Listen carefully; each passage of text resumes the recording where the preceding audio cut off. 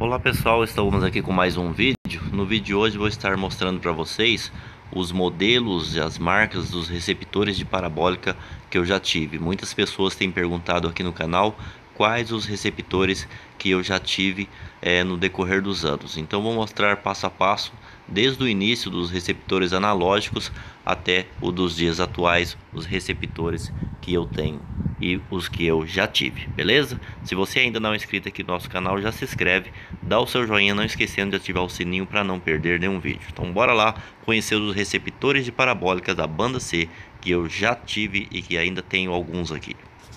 Bom, meu primeiro receptor de parabólica foi esse TechSat, era um receptor manual, não tinha controle remoto, até para trocar a polarização horizontal e vertical tinha que trocar ele. Foi em 1995 era o primeiro receptor.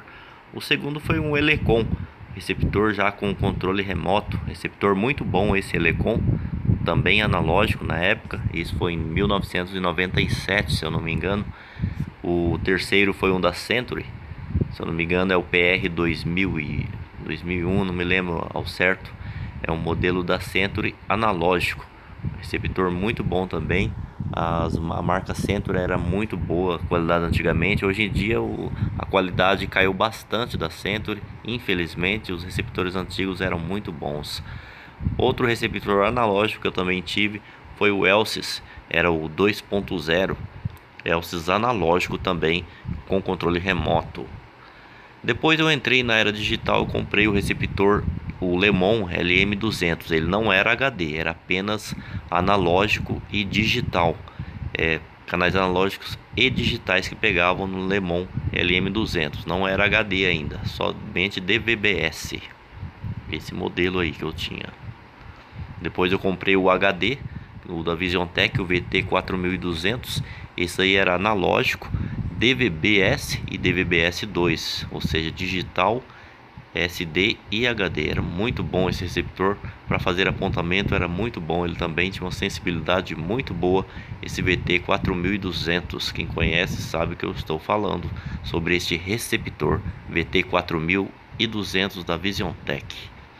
Depois eu passei para o VT 4300, também analógico, digital e HD. Isso aí que era muito bacana também o receptor porém o VT 4200 tinha uma qualidade melhor, tinha mais recursos até de editar PIDs, o que o VT 4300 não conseguia fazer. E também o VT 4300 não era tão bom para apontamento de parabólica. Depois comprei o Media Box da Century. E esse Media Box era muito bom esse 7100 um dos melhores media box da Centro, analógico, digital e HD. Muito bom ele. Depois comprei o Smart C5, também é um media box é, analógico, digital e HD. Não é tão bom como o 7100, mas quebrava o galho também, tinha uma qualidade até boa. Depois passei a comprar o SAT HD regional, já com o sistema Globo. Esse primeiro foi o B1VR. Até hoje eu não entendi porque saiu essa versão. Se você ver do lado aí, ó, HDTV B1 é o VR é uma versão que a Century lançou. Beleza? Ó, B1VR. Depois disso aí, eu já comprei o outro modelo, não era o, o VR, mas era o B1 também. Se você olhar na frente dele é bem parecida com o B1 VR, praticamente igual, menu igual, muito parecido, os botões tudo parecido. A única diferença é que aí só está escrito B1 na lateral. Depois desse aí, eu comprei o HDTV o B2, que também é praticamente igual ao B1, o HDTV o B1 SAT HD regional. Esses foram receptores da Century. O B1 eu não gostei muito, dava muito bug.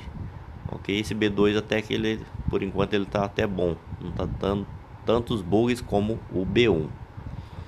E por último, agora que eu comprei o VisionTech VT1000 HD, que é o SAT HD regional que eu estou fazendo vários vídeos com ele que quem acompanha o canal já conhece. Beleza, pessoal? E é isso aí, pessoal. Esse é o vídeo de hoje dos receptores de parabólica da banda C que eu já tive, ok? Espero que tenham gostado do vídeo e até o próximo.